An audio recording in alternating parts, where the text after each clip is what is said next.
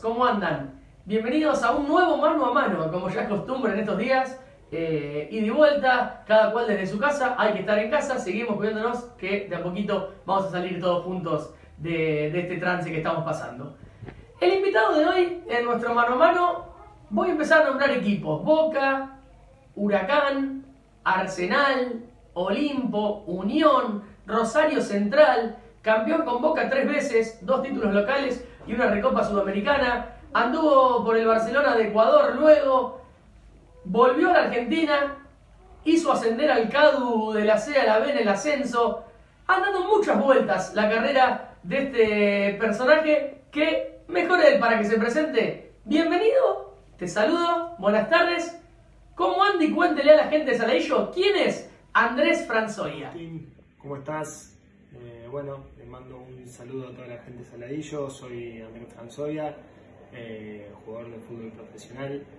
Eh, bueno, he jugado en varios clubes, como bien dijiste vos, los que, los, que, nombraste: Boca, Huracán, Central, Arsenal, Unión, Olimpo.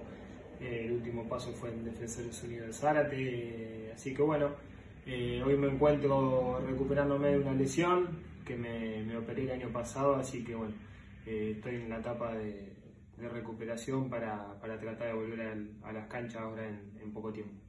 Bien, Andrés, hecha la presentación, agradecido, un gusto, un gusto tenerte acá. Hemos estado hablando también antes de la nota, un, buena onda, Andrés Franzoya, le cuento a la gente. Bien, Andrés, eh, ¿cómo fue? Vos sos de San Pedro, ¿no? Eh, ¿Cómo fue haber salido a San Pedro haberte ido, a qué edad te fuiste, contanos de paso a qué edad te fuiste para, para Buenos Aires. ¿Cómo fue debutado? Creo que en el sueño de cada chico que está escuchando la nota, que le gusta el fútbol, está por ahí jugar en Boca, incluso así.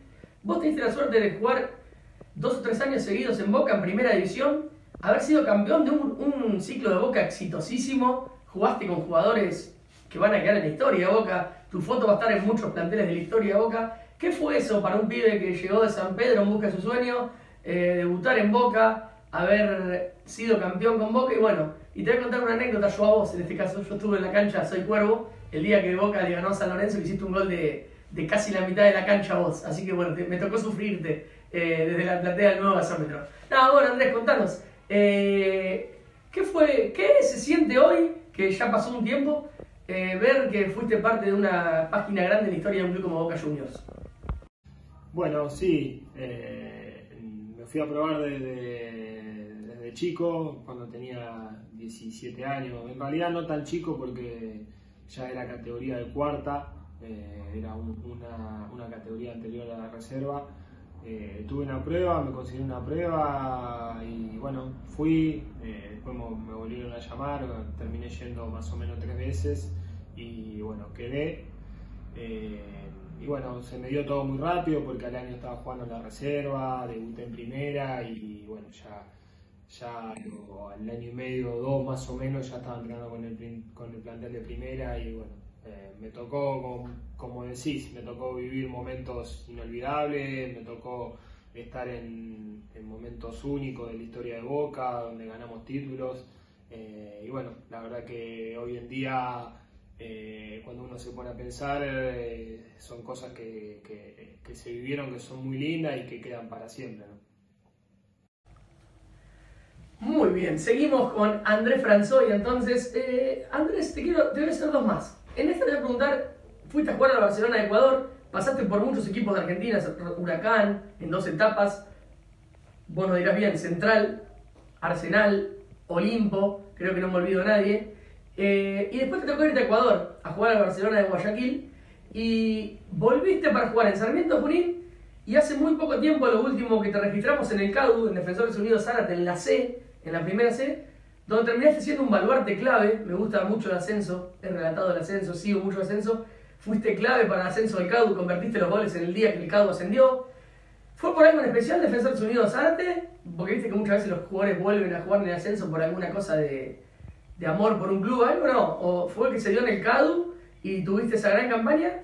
Eh, contanos eso, cómo fue la experiencia de, con toda tu, tu, gran trayectoria, haber venido a jugar en el CADU, joven dentro de todo, y haberlo sido partícipe importante para que el club logre el campeonato y el ascenso.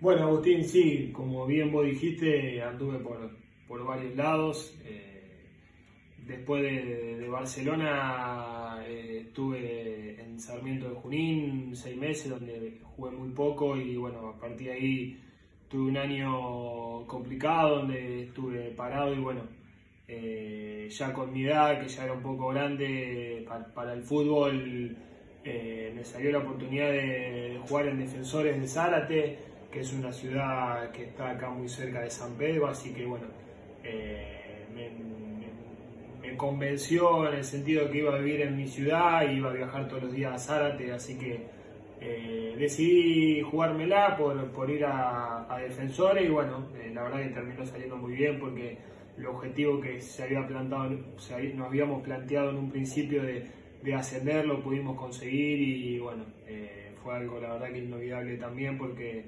eh, una ciudad entera atrás de, nosotros que estaba muy contenta y bueno, les pudimos dar la, alegría de, poder ascenderlo a, la B metropolitana.